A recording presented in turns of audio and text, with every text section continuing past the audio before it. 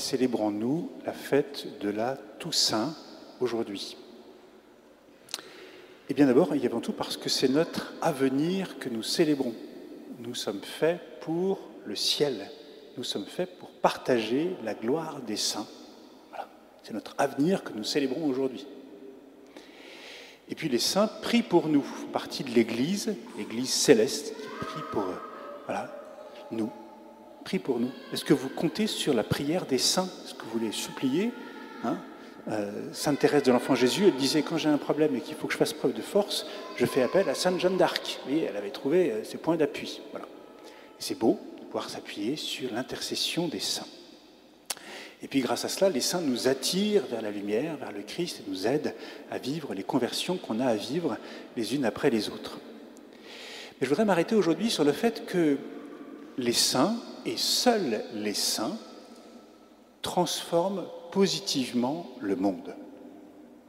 Parce qu'ils inaugurent le royaume des cieux, royaume de Dieu, un royaume de justice, de paix et d'amour. Seuls les saints transforme positivement le monde.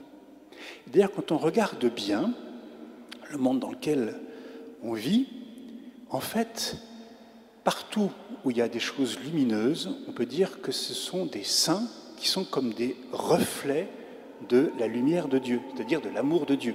Vous savez que la lune n'émet de la lumière que parce qu'elle reflète la lumière du soleil.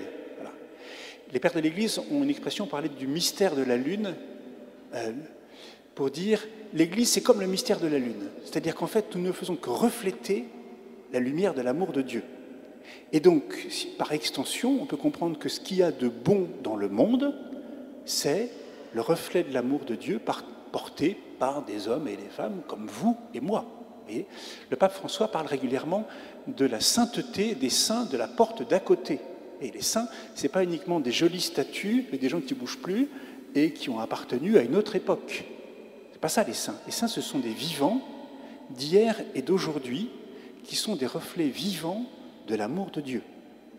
Par exemple, on m'a parlé plusieurs reprises ces jours-ci d'infirmières extraordinaires qui faisaient preuve d'une attention très belle, avec beaucoup de générosité pour des patients euh, lourdement euh, malades. Voilà, voilà de la sainteté. Voilà. Le chauffeur qui est un peu miséricordieux et qui s'énerve pas quand on fait une infraction et qu'on passe sur un stop un peu rapidement et qui euh, laisse passer et qui voilà, fait preuve de bonté, il participe aussi à sa façon à cette sainteté cachée. Le patron qui cherche un bon poste pour un salarié en difficulté, il participe de la transformation positive de ce monde voilà un élan de sainteté. Des parents patients euh, avec des enfants un peu euh, voilà, difficiles et qui font preuve de gentillesse, de courage, qui cherchent des solutions pour euh, faire grandir leur enfant. Voilà de la sainteté concrète. Des professeurs attentifs à chacun pour que chacun puisse grandir et progresser.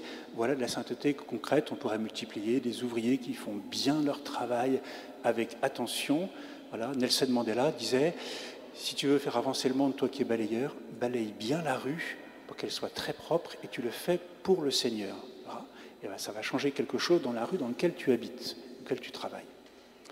Et donc les saints sont ceux qui transforment le monde en faisant advenir le royaume de justice, de paix et d'amour, c'est-à-dire qu'ils font vivre le monde de façon positive.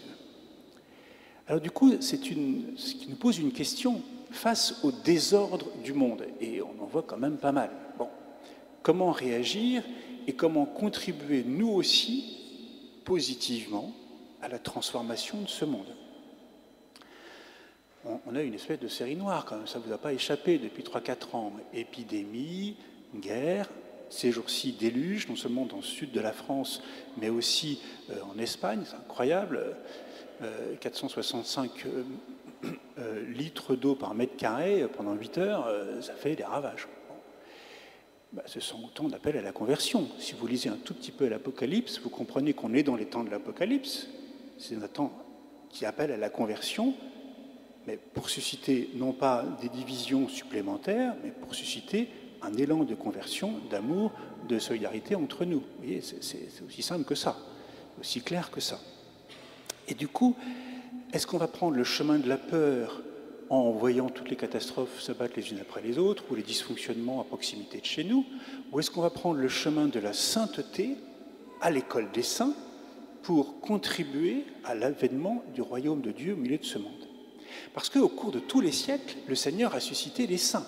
Moi, je suis toujours ébloui quand je pense à ce qui s'est passé ici au XIXe siècle, dans une période qui sortait de la terreur révolutionnaire. Ici, il y a un prédicateur, l'abbé Wurtz, vous connaissez pour avoir lu, entendu la, vie de Pauline Jaricot, qui a permis à une jeune fille de 19 ans, Pauline, qui était à votre place, il n'y avait pas de banc à l'époque, elle était debout, euh, d'entendre la parole du Seigneur et de décider de changer de vie pour euh, contribuer euh, à l'évangélisation et à l'amélioration de conditions de vie des ouvrières de son père.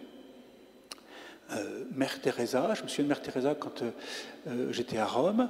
Mère Teresa, elle arrive un jour à Rome, dans les années 85-90, il y avait un vrai problème à Rome. Il y avait un vrai problème parce qu'il y avait une horde de pauvres qui couchaient dans la gare centrale, la gare Termini à Rome. Et les élus, les uns après les autres, se rejetaient le problème. Enfin, vous ne faites rien, qu'est-ce qui se passe? Pourquoi est-ce qu'on laisse ces gens-là dormir? Enfin, ça pose un vrai problème de société, etc. Mère Teresa est arrivée, elle n'a pas fait de bruit. Elle a cherché un lieu d'hébergement qu'elle pourrait ouvrir pour accueillir les sans domicile fixe qui dormaient sur les quais de la gare. Et elle a réglé le problème. Elle n'a pas fait de bruit. Elle l'a fait avec ses petits moyens et elle a fait avancer le royaume, voilà, sans crier gare. Euh, moi, je suis extrêmement sensible à la question des écoles aussi. Non seulement on a de la misère, mais on a de la misère aussi dans les écoles. Il y a un quart des enfants qui rentrent en sixième qui ne savent pas bien lire ni écrire. Un quart. Les enfants-là, ils n'auront jamais de diplôme. S'ils en ont, c'est des diplômes qui valent rien, et ils seront incapables de se situer dans la vie. Et à une époque, le Seigneur a suscité Saint Jean-Baptiste de la Salle, un rémois comme moi, pour aller s'occuper des enfants pauvres et créer des écoles. Et à l'époque, il créait une école par mois en France pour les enfants en difficulté. Peut-être que le Seigneur veut qu'on s'occupe non seulement de la misère de ceux qui dorment dans la rue. Je fais un petit retour en arrière. Vous savez le nombre de femmes et d'enfants qui dorment dans la rue en France? Les statistiques viennent d'être publiées récemment. C'est hallucinant. Peut-être qu'il faut qu'on se bouge pour accueillir davantage des femmes, des enfants qui dorment dans la rue et puis qu'on demande au Seigneur qui suscite parmi nous des nouveaux éducateurs pour que les enfants qui rentrent en sixième sachent lire et écrire et compter. bon. Des fragilités dans nos familles, il y en a pas mal. Eh bien, au long des siècles, le Seigneur a suscité des saints. Alors aujourd'hui, on a particulièrement euh, Louis et Zélie Martin qu'on aime invoquer, parce qu'ils ont eu une vie difficile, hein, ils ont perdu beaucoup d'enfants, etc. Euh, la maman est décédée rapidement, le papa a fini euh, beaucoup de souffrances, etc. Au cours des siècles, le Seigneur a suscité aussi des saints qui ont pris conscience que l'ignorance de l'Évangile, c'est un vrai problème. Il y a plein de gens qui n'ont jamais entendu l'Évangile. Et au XVIIe, XVIIIe, XIXe, on envoyait des missionnaires à l'autre bout du monde. Pas besoin d'aller à l'autre bout du monde. La plupart des gens en France aujourd'hui n'ont jamais entendu parler de Jésus. Donc le Seigneur est en train de susciter forcément parmi nous des missionnaires qui vont aller parler de Jésus et qui vont accueillir tous ceux qui arrivent. Je vous redis réellement, parce que c'est une de mes plus grandes joies depuis septembre. Il y a entre deux et quatre nouveaux adultes qui viennent frapper à la porte de la paroisse ici toutes les semaines pour demander le baptême. Ils, ont, ils viennent de découvrir Jésus. On va les accueillir. Voilà, magnifique pourrait parler aussi de la fin de vie. la fin de vie. Ça ne vous a pas échappé que se relance en permanence le débat sociétal sur la question de l'euthanasie? Pourquoi la question se pose? Parce qu'il y a un déficit d'accompagnement de personnes en fin de vie. C'est aussi simple que ça. Et donc le Seigneur suscite des, saints parmi nous pour accompagner des personnes en fin de vie. Je ne lui ai pas demandé la permission. Mais est-ce qu'Eliane, on pourrait dire un petit mot? Vous accepteriez ou pas? Bon. Je ne l'ai pas prévenu. C'est pas bien. Avec Eliane, on se connaît depuis 30 ans, à peu près. Bon. Eliane, en quelle année Jacques a eu un AVC qui l'a rendu complètement paralysé? 97.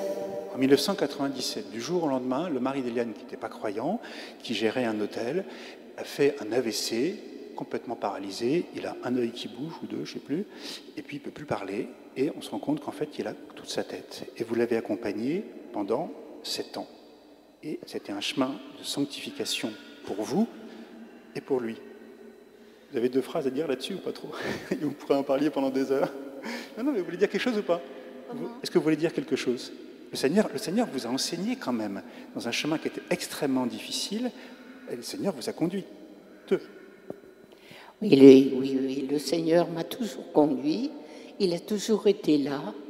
Et petit à petit, pas à pas, jour après jour, j'ai accompagné mon mari comme une épouse accompagne un des siens malade.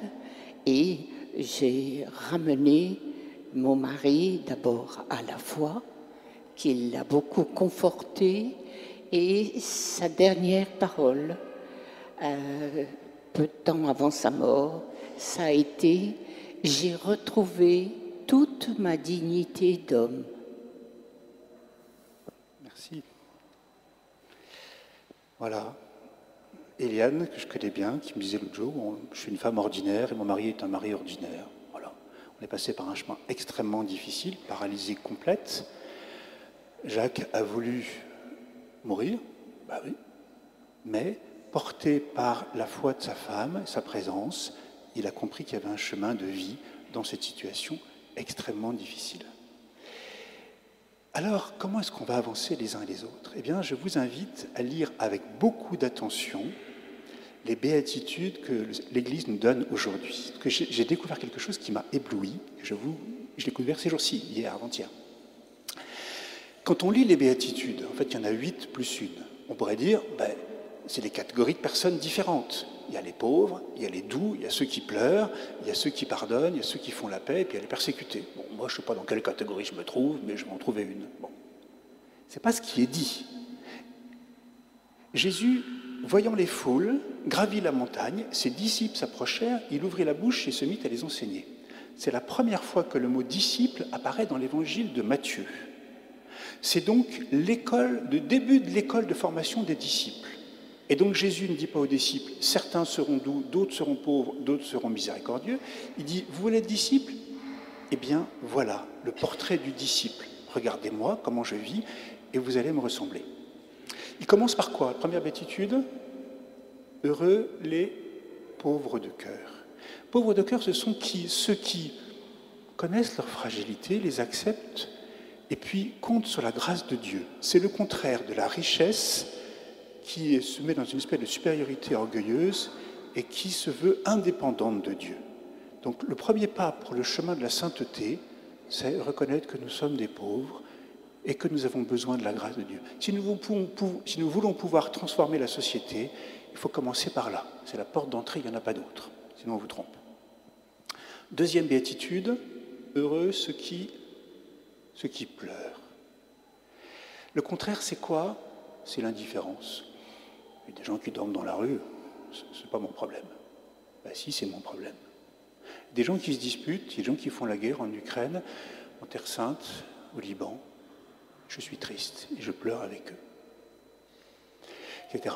Voyez et donc un cœur compatissant, un cœur qui se fait proche, pas indifférent à la misère du monde, et qui n'a pas peur de pleurer. Vous voyez Dans ma propre famille, on ne pleurait pas, il ne fallait pas pleurer.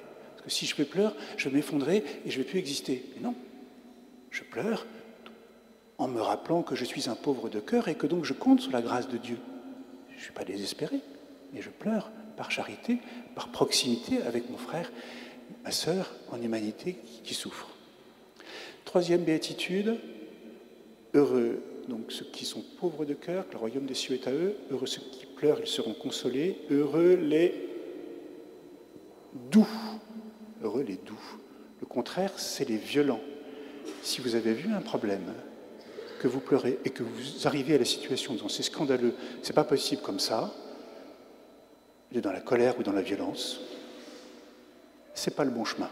Vous trompez de chemin. Vous voyez, à chaque fois, il y a un aiguillage, hein, c'est les aiguillages successifs. Et là, vous dites, le bon chemin pour avancer dans la transformation de ce monde, ça sera la douceur. Heureux les doux, car ils hériteront la terre entière. Béatitude suivante, heureux les doux, après heureux les... Heureux les... Ceux qui ont faim et soif de la justice. Je suis doux, mais je comprends qu'il y a un combat à mener parce qu'il y a des choses qui ne sont pas justes. Et donc je ne reste pas les mains dans les poches. Je dis, mais on va mener le combat. On ne sait pas comment, quand on a un mari qui est complètement paralysé, on va y aller, on ne sait pas comment, on ne sait rien. Mais on dit, il faut y aller, il faut y aller. On ne va pas rester les mains dans les poches. Vous voyez? Pas la passivité. Donc il y a un combat à mener pour que le royaume advienne face à une difficulté ou une autre. La suivante, c'est quoi? Heureux les miséricordieux. Quand vous avez compris qu'il y a un combat à mener parce qu'il y a des injustices, vous pouvez être dans la haine ou la rancune envers ceux qui sont responsables de l'injustice. Et ça ne fait pas avancer le royaume. Et donc, après avoir pleuré, avoir décidé la douceur, avoir décidé d'entrer dans le combat à mener, comprenez qu'il faut pardonner. Que ce n'est pas dans l'agressivité, la colère, la rancune que ça va marcher. C'est contre-productif. L'aiguillage suivant, heureux les artisans de paix. Voilà. Non, pardon, heureux, excusez-moi. Juste avant, c'est les pauvres de cœur, les purs de cœur. Heureux les cœurs purs. Les cœurs purs, c'est quoi? Ce sont les cœurs qui sont désintéressés.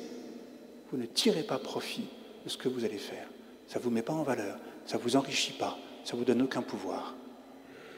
Si vous perdez de l'argent, de l'honneur et du pouvoir, vous êtes dans la bonne direction. Heureux les cœurs purs. Ce n'est pas pour vous. Ne tirez pas de profit. Et puis, heureux les artisans de paix. Heureux les artisans de paix. Ce que vous allez faire, parce que vous allez faire des choses, vous vérifiez que ça produit de la paix. Si ça produit de la division, faites bien attention. Mère Teresa, elle a eu des obstacles sur le chemin, des gens qui n'étaient pas d'accord, etc. Mais elle a bien vu qu'ultimement, ça produisait de la paix. Heureux les artisans de paix. Et puis la dernière, des huit premières béatitudes, c'est heureux ceux qui sont persécutés pour la justice. C'est-à-dire ceux qui donnent tout par amour pour Jésus et par amour pour leurs frères. si ça ne vous coûte rien, et qu'au bout d'un moment vous dites moi j'arrête, c'est trop compliqué, euh, ça me fatigue et je veux arrêter de donner, vous ne ressemblez pas à Jésus. Jésus va au bout de l'offrande de lui-même. Voilà, vous avez le chemin. C'est amusant parce que c'est comme des aiguillages successifs qui permettent de vérifier et de trouver le bon chemin de la sainteté. Voilà.